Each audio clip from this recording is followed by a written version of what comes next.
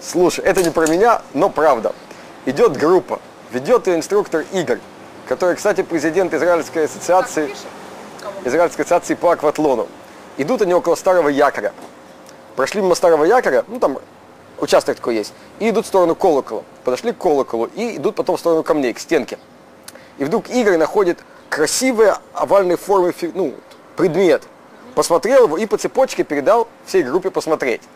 История 100% реальная. Последний посмотрел, подержал в руке и кладет ее в карман. Выходят на берег, все довольны. После, заходят в клуб, после, ну, человек, который в кармане выходит, кладет на прилавок и говорит хозяину клуба, Сема, смотри, что это. И тут Рами начинает орать, это граната. Хватает и бежит с ней в туалет. Все, орет, не дам взорвать унитаз. Хватает гранату и несется с ней на улицу и кидает ее в такой шлюз. Вызвали полицейского, Хаблана. Пришел Хаблан, да, граната английских времен. Это сапер. Хаблан-то сапер.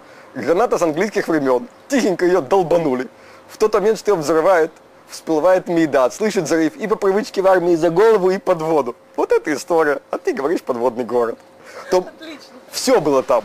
То есть группа шла, Игорь нашел овальный предмет, показал, передали друг другому. Один себе в карман ее тюхнул. Пришли, и тут кричат, это же граната.